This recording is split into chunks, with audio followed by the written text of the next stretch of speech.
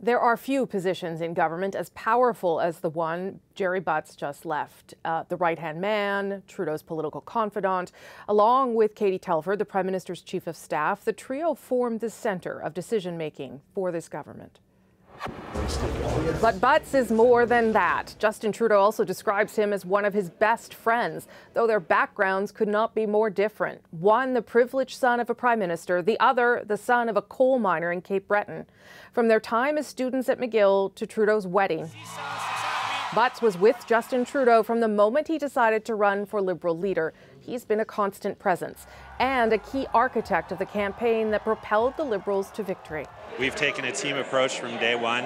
Uh, there's uh, the leader of it has done a phenomenal job, and that's Justin Trudeau. So we're uh, we're very proud to work for that man tonight. Trudeau has always seemed aware of how much he owes Butts. Katie and Gerry are two of the smartest, toughest, hardest working people you will find anywhere.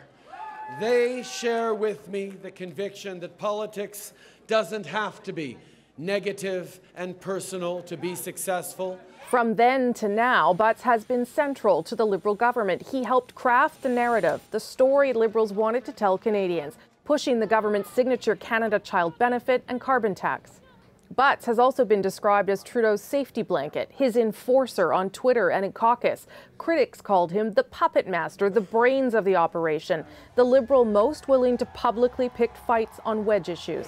I, I think that people have been underestimating Mr. Trudeau since before he was in public life, and I, I, I think it will probably continue. I, I, uh, I, think he's done a, a, truly remarkable job. Which is part of why the Prime Minister today thanked him for his friendship and why no one here thinks Gerald Butts is going too far from the Liberal Party. As for the investigations into the SNC Lavalin controversy, tomorrow the House of Commons Justice Committee will meet again to debate other possible witnesses in its probe. Last week, you may remember the Liberal majority voted down calls to have some key players testify, including Jody Wilson-Raybould and Gerald Butts and senior members of the Prime Minister's office. So all eyes will likely be on that tomorrow afternoon.